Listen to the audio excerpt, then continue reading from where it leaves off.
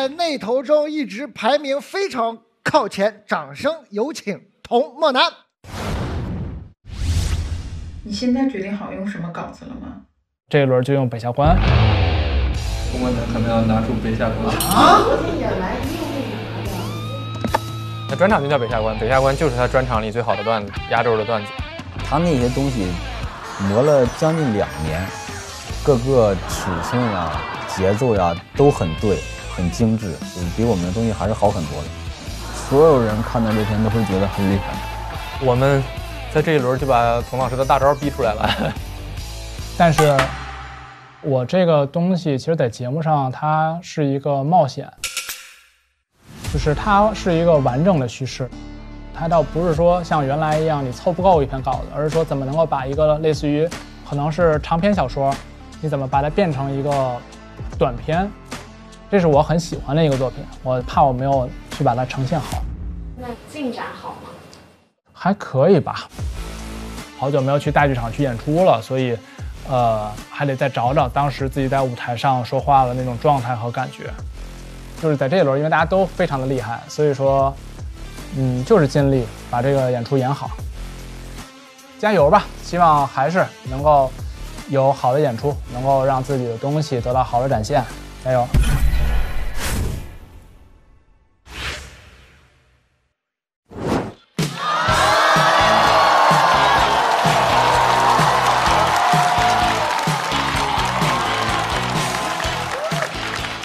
好啊！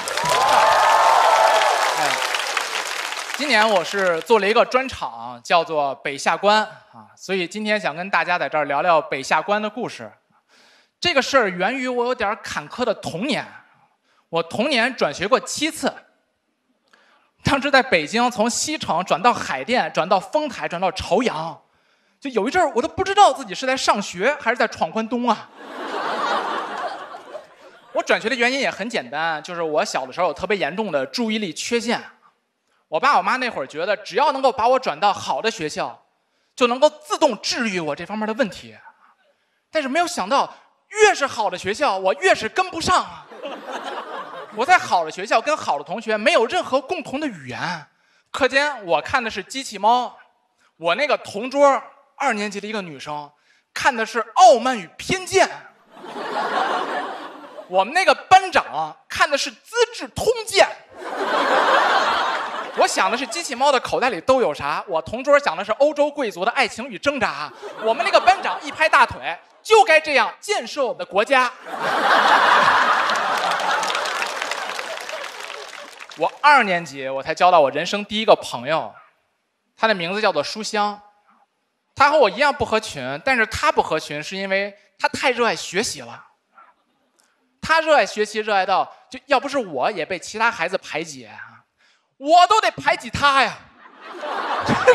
小兔崽子太能学了，每天中午一定要改完数学作业再去食堂吃饭。我闻着那炸鸡腿飘来的香气，一问他永远就是三个字我有错，我有错。那会儿都给我逼成哲学家了。我说这个世界上谁没有错啊？但也正是这句话，书香第一次跟我有了心有灵犀的感觉，他很惊讶，说：“怎么，你也读黑格尔啊？”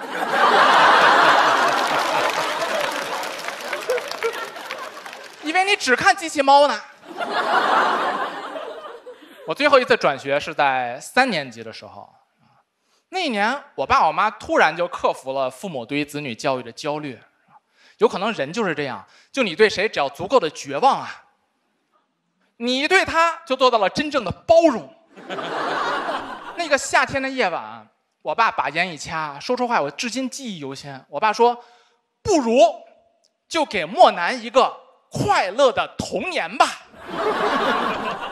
我妈也接茬说：“是，就莫南这个智力水平还有学习状态，现在不快乐。”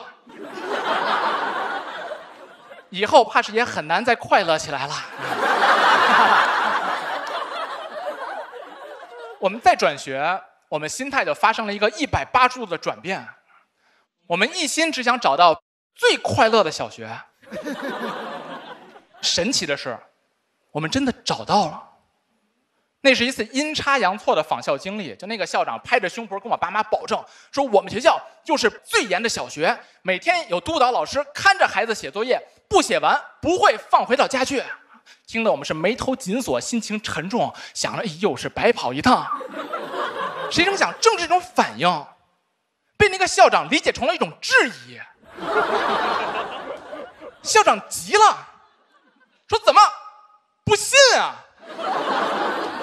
我们可不像旁边那个北下关小学，但凡不是对自己的孩子绝望了，谁能送到那儿去啊？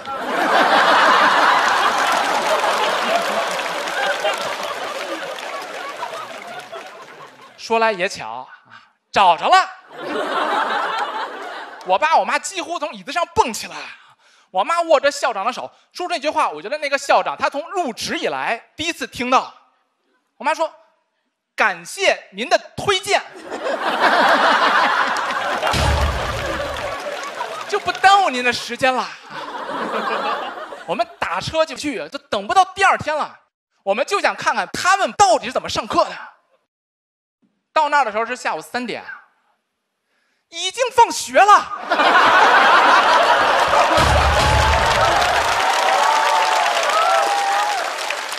哪儿还有人啊！门口看门的大爷都说：“怎么又把书包忘拿了？”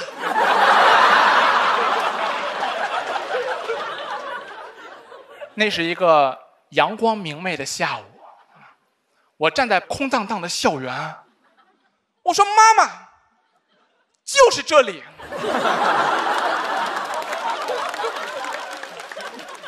到家了。我一生的挚友啊，我的 soul mate，我的灵魂伴侣，全是在那里结识的，就是那种突然有人懂你的感觉，就能知己。然后我上课不是走神吗？我问我同桌，我说今天早上有一道应用题我没有听清，你能不能给我再讲一次？我同桌大惊失色，说啊，咱们今天有数学课吗？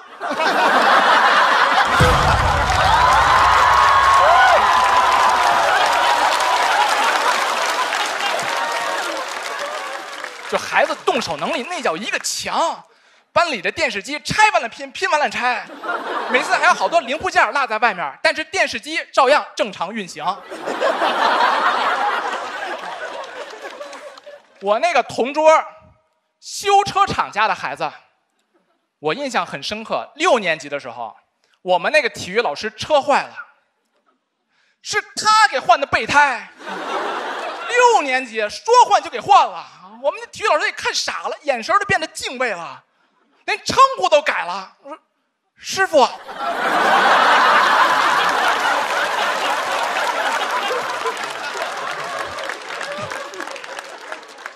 您看我这机油是不是也该换了？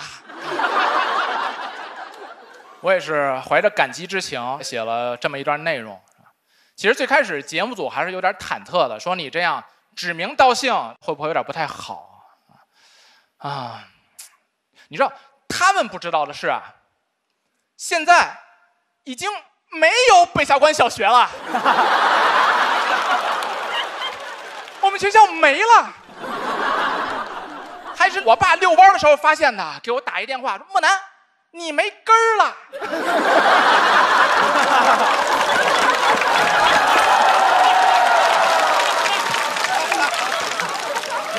但我们学校也不是真的没了，我们学校是被一所市重点小学给合并了。其实有时候我真的是挺感慨的，我经常觉得我们学校啊，就是没有赶上好时候。我们学校要是但凡扛到今天，在这么一个快乐教育的背景下，指不定谁合并谁呀。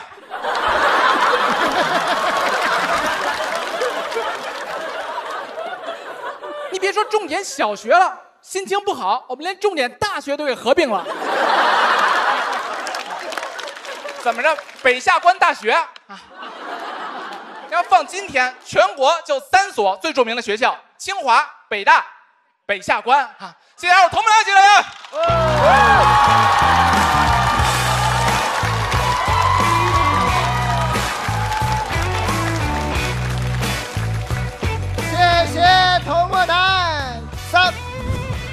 二、一，请投票。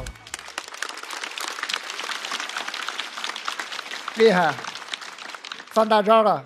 对我看他演完之后出了口气，还那吐了一口，是因为上一场有点那什么，这场炸了，回来了哈。没有这场，我想讲这个内容，其实也是因为就是就刘震云老师，因为我刘震云老师是我超级超级喜欢的一个作家，我的灵感也是来自于刘震云老师的作品，就是那一句顶一万句，啊、他谈到的是人的孤独，然后怎么找到能够说得着的人。啊，所以我是写了北下关这样的一个故事，嗯，所以我觉得就是今天我能在这个脱口秀大会这个舞台上，能够把这个故事讲给刘震云老师听，我觉得我非常非常的荣幸。对，我觉得就是很特别值得的一件事情。那你用一句顶一万句，你事先买版权了吗？灵感，灵感也没有引用。我觉得说的还是很好的。嗯，我觉得孩子的天性，包括他的自由，我觉得都是特别特别重要的。啊，另外的话，我觉得整个的，就是这个脱口秀，就是里边所有的，就是这个曲里拐弯的这些东西，我觉得都特别的到位，就是特别这个缝隙特别特别到位。就是这个，你是北京人是吧？大张伟老师跟我说的。对，北京一上来我就赶紧介绍，我说老师特别注意这个腔调哈，北北京的北京，京腔儿，家里都是京京腔鱼啊。这个北京话说的还是不错的。那当然是放到现在了哈，因为它是普通话。哎哎哎哎，但是要放到宋朝，你看看那可就不一定了。干嘛非放非放宋朝呢？哎，要在宋朝在这儿举办脱口秀的话，真正的普通话是哪儿啊？是李大河南话哈。哎，真正的哎普通话就是河南话。哎，我们村儿呢是首都郊区。漠南呢爱读书，喜欢文学，文本呢其实受各位影响都很大。受他说他受您影响，网上有评价说听莫南的北京话的那些包袱出的方式，能想起王朔。嗯，啊，目光不错啊，喜欢文学是一方面，就喜欢什么样的文学才是重要的。啊，你看看，你看看啊。那刘老师觉得是喜欢您的书好，还是喜欢硕爷的书好呢？呃，我觉得的话呢，就像唐诗一样，他可以喜欢李白，也可以喜欢杜甫。啊，那刘老师，您觉得您是李白还是杜甫呢？这个我是李白还是杜甫不重要，有可能像李诞老师的话，他有点像白居易。哎呦呦呦！哎呦，这天聊的，王松龙咱俩学学，好有说话的艺术。以后咱们出一歌就说这歌要汪苏泷是像巴比伦还是约约翰列侬呢？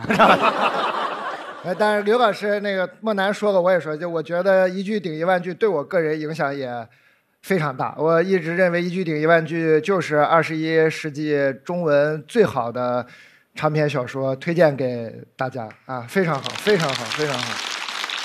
其其实从莫南今天讲这个事儿，尤其在北京，我也有特别共情的地儿。我们学校也是一般学校啊，然后后来被那个市重点给给吞了。对。然后，但是我有有有一个，就是你妈妈说那个，就是那一刻，你觉得这一刻就是我的学校了。就是我，我本来小学到初中是保送的，因为我唱歌特别厉害，你明白吧？然后呢，然后 but b u t 啊，然后呢，我就我就去了另外一个学校，因为那个学校压力小一点。然后后来我还琢磨我这选择选择对不对。后来我跟我们班同学进学校的时候，学校老师说那个头发帘不能过眉毛。哎，到第二天，我们班同学把眉毛剃了。当时我就觉得选择对了，太来劲了。就是，所以他有好多那些那些北京那些点，我特别亲切，特别棒啊。苏红哥哥，我看刚才也笑得很开心。我很开心，就是童梦楠很厉害，就是笑得我嘴磕这广告牌上了。连称呼都改了，我说师傅。